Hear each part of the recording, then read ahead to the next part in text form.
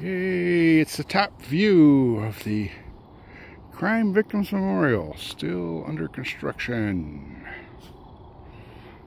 Got all these forms in here. I'm guessing they're going to be pouring concrete. I'm not sure if they're going to get it done before the weather breaks.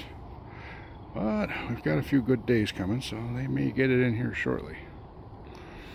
As you can see from here, it shows you the path out to the lot that they're using to do that and the path that's going to be the uh, main path I think in the handicap access.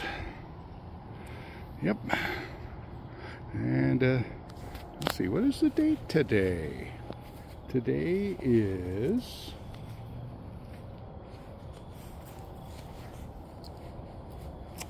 cute.